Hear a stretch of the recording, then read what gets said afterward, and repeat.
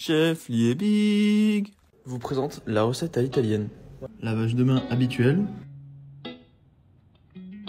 On prend une soupe 10 légumes de Liebig. Tadam Une deuxième apparaît. On coupe. Puis on verse. On touille. On tranche la mozzarella. On verse la soupe. Et on attaque la garniture. On dispose un peu de pesto sur chaque bout de mozzarella.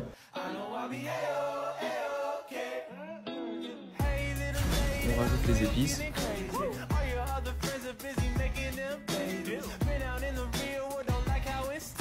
Passons à la dégustation.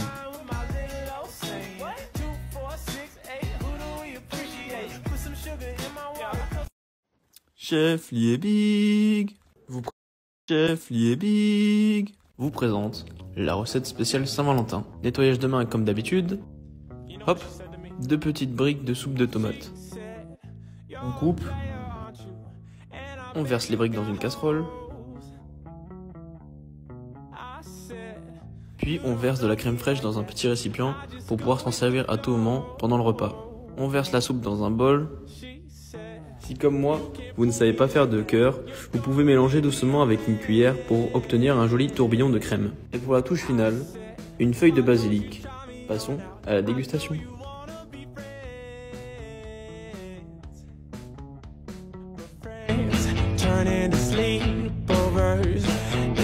Chef Liebig, Chef Liebig vous présente la forestière.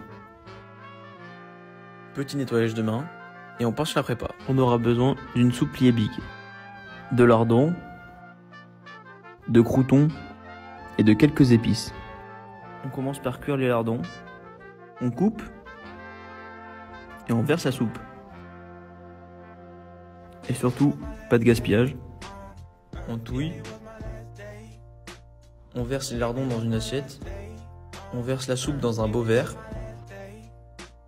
Et on attaque la garniture. Quelques lardons et des croutons émiettés. On rajoute les épices.